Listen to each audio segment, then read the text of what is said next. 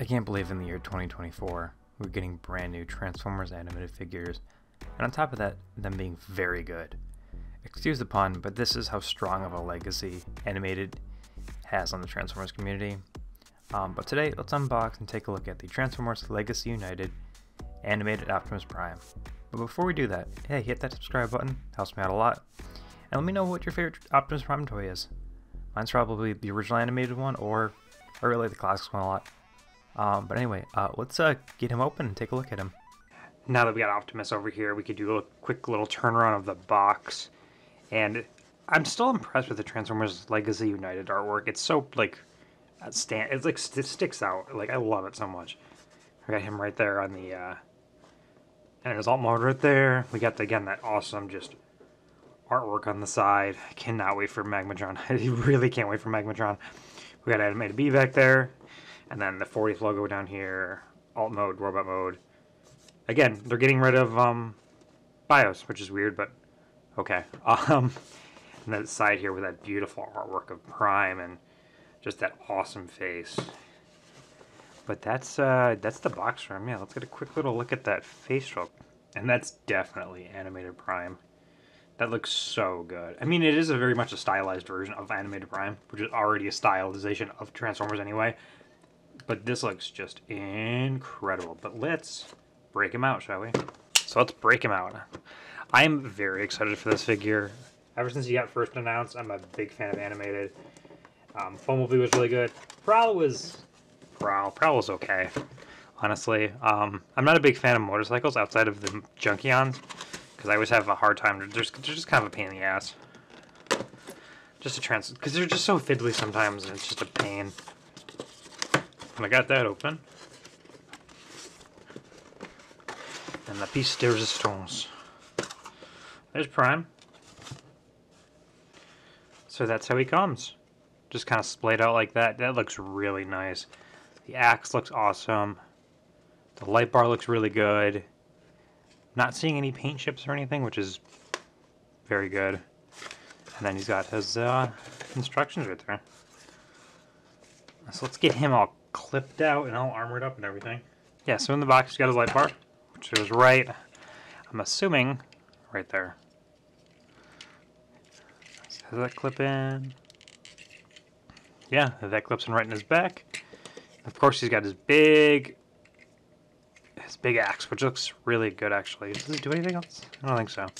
Oh, it extends. Oh, okay. Does he do anything else? Looks kind of Oh, yeah, so that's him. There's that beautiful axe. That head sculpt looks great. He feels really good in hand.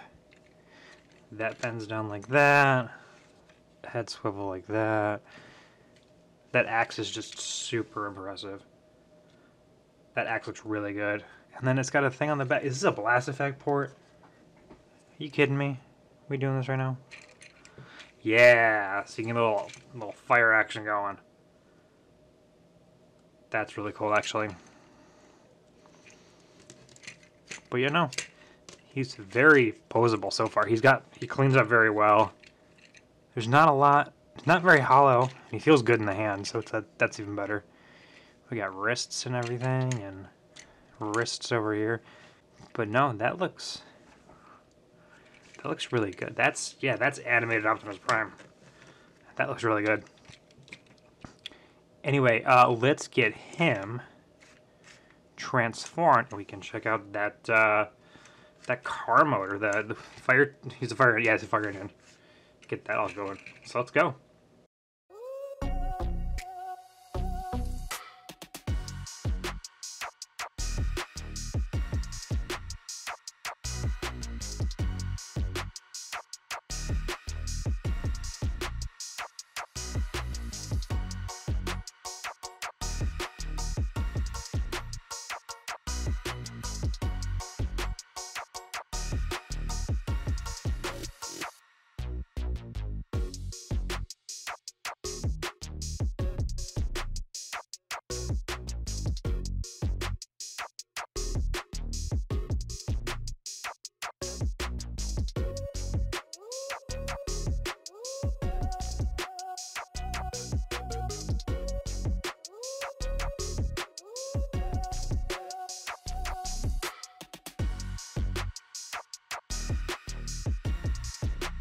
And uh, there's Prime in that truck mode, and the transformation is yeah, no, it's it's it's Optimus. It's these are the arms, those are legs. It's not that complicated. Um, I do like that they cheated with the front wheels because animated Prime doesn't have the front wheels here. It just has the two back wheels, and this all is like hovering, and they kind of cheated that way doing that. And I really like that. I think that's really cool.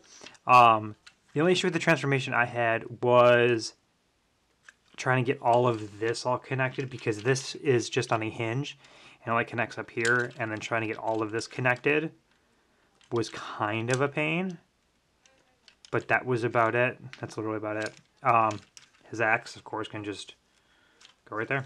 That's it. That's it for weapon storage just right there.